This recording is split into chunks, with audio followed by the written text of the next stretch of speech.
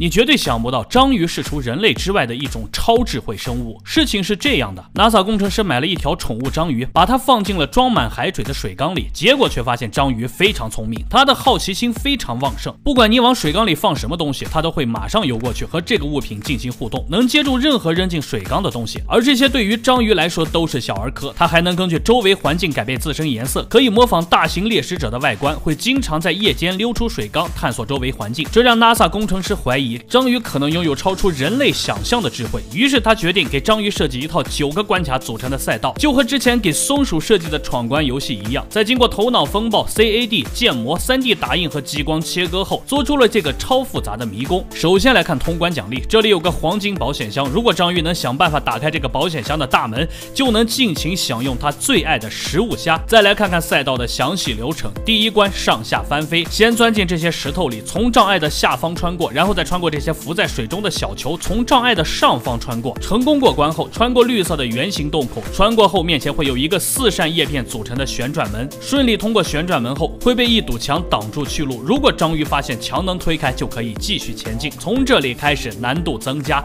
章鱼必须通过观察才能通关。这里要抓住操纵管，再沿着凹槽转动，才能让上面的小球掉落，之后才能穿过管道到达下一关。下一关被一扇门挡住，章鱼必须按下墙上的按钮推开。后面的玻璃球，小球拉动绳子，下一关的大门才会打开。通过这一关后，就来到了闯关的核心——章鱼跃龙门。如果章鱼想通过这关的话，就必须拿出在陆地上生存的本领。要知道，章鱼能在陆地上生存一个小时，它必须爬出水面，爬到另一边后再次入水。接下来这关，章鱼可以补充体力，在潜水员的背后放着一只虾，和之前的松鼠闯关一样，章鱼可以留在这里拍纪念照。章鱼的嘴长在所有触手的交汇处，想要吃到虾，章鱼自然而然。会摆出炫酷的造型。补充完体力后，章鱼会到达倒数第二个关卡，这里有六个洞，大小不一，洞下面是复杂的迷宫。章鱼要在这里寻找捷径，通往到最后一关。拧开保险箱的大门，就能品尝到为他准备的自助海鲜盛宴。通过所有关卡的考验之后，章鱼就可以被放回大海，回到自己的家园。下面闯关正式开始，打开球形阀，虾的气味顺着管道传到了章鱼生活的水缸。闻到味道后的章鱼立刻穿过管道。进入障碍后，章鱼先是探索边缘，很快就找到了入口位置，紧接着开始四处探索。其实章鱼每到一个陌生的环境后，就会开始四处探索，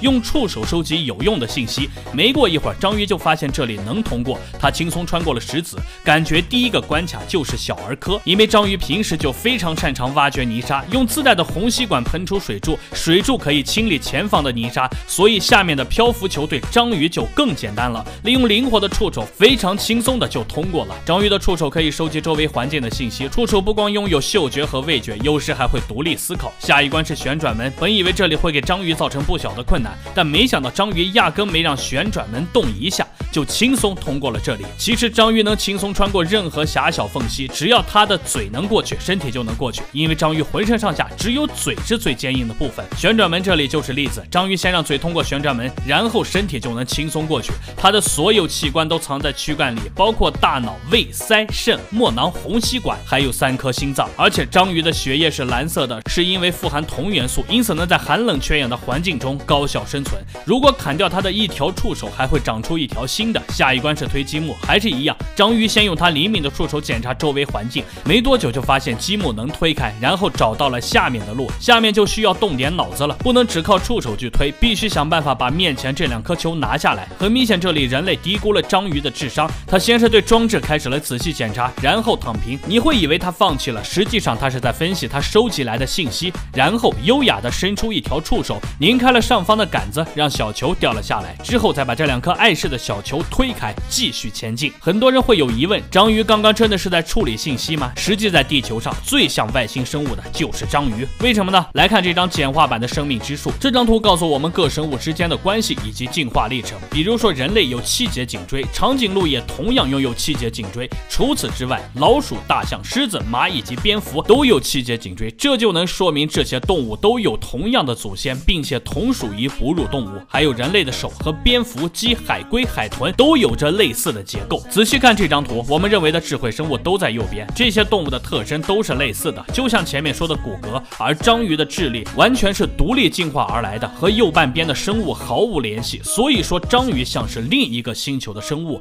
比如说，它们的的神经元数量是猫的两倍。图表右边动物的神经元都集中在大脑，而章鱼只有三分之一的神经元集中在大脑，其他的则分布在触手上。也就是说，章鱼的触手不仅拥有味觉和嗅觉，甚至还可以独立思考、独立行动。你可以理解为章鱼有八个独立的迷你大脑，这八个大脑又由中央大脑集中控制。接下来的闯关就恰恰印证了这一点。在摸索了周围的环境后，章鱼立刻就明白了是怎么回事，立刻按下红色按钮，成功打开了大门。接下来到了章鱼跃龙门，同同样也没难住章鱼，他还是用触手检查周围环境，把触手伸出了水面，发现外面是可以通过的。于是章鱼立刻爬出了水面，又从另一边回到了水下，接着来到补给关卡，顺便给章鱼来了几张艺术照。这里再了解下章鱼的变色能力，章鱼的皮肤下覆盖着微小的色素细胞和液囊，里面装满了黑色、红色和黄色色素，液囊可以随意改变大小，这样就能任意结合三种颜色。下面还有一层红彩细胞，可以反射特定波长的光线。红彩细胞下方还有一层，是用于反射环境光线的白色素细胞。除这些之外，它们还有一种叫乳突的肌肉结构，